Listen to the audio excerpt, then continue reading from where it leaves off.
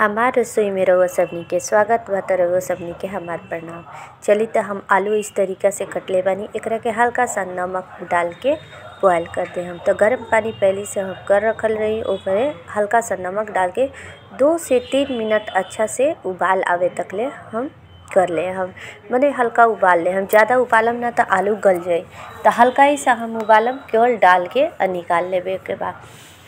चली तो एकरा के दो से तीन मिनट हो गई। अब एकरा के हम अच्छा से थोड़ा सा पानी में रहे देम और बाद हम निकाल लेतानी ऐसे का हो कि कि थोड़ा सा हल्का सा बॉयल हो जाला तो आलू के स्वाद भी अच्छा हो जाला और मतलब कि बने में भी अच्छा होखेला और क्रिस्पी भी हो जाए जब हम एकरा के तलब त। तो चलिए आज हम रउआ सबनी के बताओ तनी चिली पटेटो के पोटैटो चिली के रेसिपी। तो पटेटो चिली बनाए खातिर हम पहले आलू के काट ले ले रही। अब एकरा में हम डालम थोड़ा सा कॉर्नफ्लोर के आटा मतलब दो से तीन चम्मच कॉर्नफ्लोर के आटा और में एक से डेढ़ चम्मच डाल दे हम मैदा। ज़्यादा मैदा ना डालम, जैसे आधा आधा ही कॉर्नफ्लोर से आधा ही मैदा डालम। ओमें स्वाद अनुसार नमक डाल देनी। अब एकरा में डाल दे हम थोड़ा सा गोलकी पाउडर गोलकी पाउडर डालला के बाद हल्का ही सा गोलकी पाउडर, ज़्यादा गोलकी पाउडर ना डालम थोड़ा सा चुटकी भर गोलकी पाउडर अच्छा से मिक्स कर ले हम। अब एकरे में हम जो आलू बॉयल कर ले रहे हैं, सबके डाल के हल्का सा फेंट ले हम, जिससे सब आलू में चारों तरफ़ से मिक्स हो जाए, अच्छी पक जाए।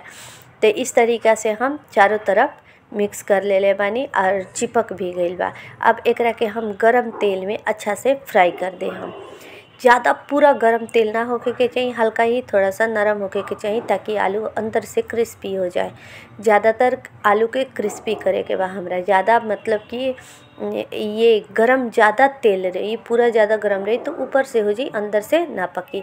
तो हम हल्का सा एकरा के नरम ही रखम धीरे धीरे आँच पे एकरा के हल्का सा मतलब कुरकुरा हो दे। हम देखी तो हमार इसी तरीका से सब के आलू के कर ले। हम देखी तो हो गई बा। अब एकरा के तेल हल्का सा निकाल निकाल के हम सबके निकाले। हम इसी तरीका से जितना बा हम आलू, उतना के हम क्रिस्पी कर ले हम। क्रिस्पी कैला से का होखेला कि अच्छा सा स्वाद आई, कुरकुरा होखी। तो इसी तरीका से जो पहला बार हम कैनी है, दूसरा बार भी वैसे ही करके हम सब निकाल लेता नहीं चलिए तो हम आलू के सब अच्छा से निकाल लेता नहीं और बाद हम ग्रेवी तैयार करम। ग्रेवी तैयार करे खातिर हम टमाटो सॉस ले हम एक से डेढ़ चम्मच, बड़ा चम्मच से टमाटो सॉस। उसमें soya sauce, dark soya sauce होके तो एक चम्मच, अगर हल्का सोया सॉस होके तो डेढ़ चम्मच। उसमें चिली सॉस डाल दे chilli sauce, red chilli sauce होके तो और अच्छा बा। ओकरा में से डाल दे हम गोलकी पाउडर। आ थोड़ा सा हम चीनी एकरा में ऐड करम। आई विनेगर विनेगर ना रहे तो रुआ डाल दे हम नींबू के रस। आ, एक चम्मच, आधा ही चम्मच चीनी डाल दे हम, ताकि अगर मिठास थोड़ा सा बनाए रखें। अब चलिए तेल ले ले ले बनी पेन में, और उसमें कटा हुआ अदरक और लहसुन डाल दे हम।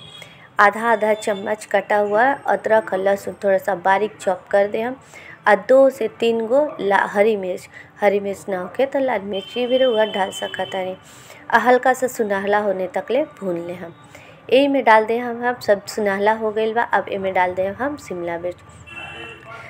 शिमला मिर्च और प्याज बराबर मात्रा में हम काट के डले बनी जैसे आलू हो गए, ओकरा आधा शिमला मिर्च, आधा प्याज। इससे कहो कि कि जैसे कोई चीज़ बनावल जाला नु तो हिसाब से बनाई कोई भी ज़्यादा और कोई भी कम ना। और थोड़ा सा क्रिस्पी होके तक एक के फ्राई करम। ज़्यादा एक के फ्राई नहीं के करे के तो हल्का से ही हमारे थोड़ा सा देखी इस तरीके से चलाते हुए बराबर चलावत रह ना तो पेन में बैठ जाए। अभी हमार फ्राई हो गई बा अब जो हम बनैले रही लहसुन, अदरक के पेस्ट, वो डाल दे हम। अगर लहसुन, अदरक के पेस्ट ना होगी तो कोई बात ना, लहसुन, अदरक हम चॉप करके डाल चुकल बानी रोज लहसुन, अदरक ज़्यादा ही चॉप करके डाल सकता नहीं अगर पेस्ट नहीं खेता अब जो ग्रेवी तैयार के ले रही, अब ग्रेवी डाल दें हम। इसी कटोरी में हम एक से डेढ़ चम्मच कॉर्नफ्लोर के आटा ले लें हम और के अच्छा से एक कटोरी पानी लेके जितना ग्रेवी हमरा तैयार करे के बा, उतना पानी हम डाल के एक में डाल दें हम। थोड़ा सा हम सॉस के हल्का भून ले हम ताकि टेस्ट अच्छा आए।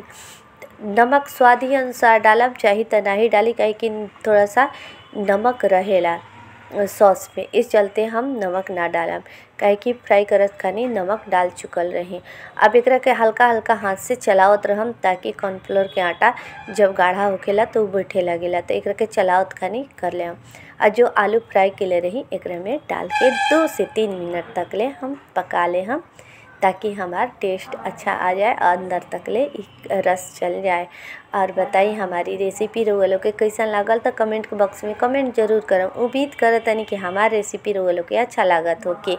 तो चलिए फिर मिलब एक नया रेसिपी के साथ, एक अच्छा रेसिपी के साथ। अब ये हमार रेसिपी बन गईल बा। अब एकरा के हम निकाल लेतनी तो पटेटो चिली रउआ कैसन लागल कमेंट में ज़रूर कमेंट करम तो हम एक पेन में निकाल लेतनी अब बच्चन के लंच बॉक्स में भी दे सकतनी, नाश्ता में भी दे सकतनी, रोटी के साथ भी खा सकतनी, जे चीज़ के साथ मन को के वो चीज़ के साथ खाते हमारे रेसिपी खा देखे खातिर सभी को बहुत बहुत